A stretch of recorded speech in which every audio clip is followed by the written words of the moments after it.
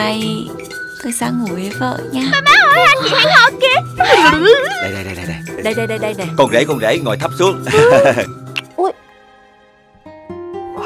Anh có làm gì đâu Mà nhận lỗi về mình chứ. Đúng là nhà Văn Tây đang sống ở Sài Gòn rồi này. Hãy kéo anh ta ra ánh sáng đi nào. Cũng không còn bao lâu nữa đâu Cô sẽ trở về phòng hành chánh Đây là cơ hội cuối cùng của chúng ta. Phải thử thôi. Vừa nãy xuống phòng marketing Em thấy mấy anh chị ở dưới đấy Có đơn về tạp chí mình đấy. Tại sao tất cả những người bên ngoài đều biết? Chúng tôi những người trong cuộc. Lại không hề hay biết gì hết vậy. Nếu anh có tình cảm với hơi mốt như tôi Như tất cả mọi người ở đây Thì anh đã không cư xử như vậy rồi. Anh ta luôn cho mình là số 1 Tới mức này là hết chịu nổi rồi. Tôi cũng phải đi thôi. Lê Minh